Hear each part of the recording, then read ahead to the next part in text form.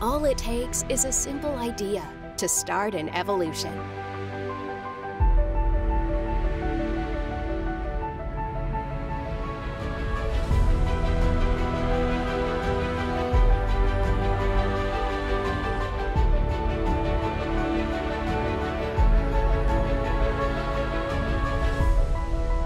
Good sports always give back.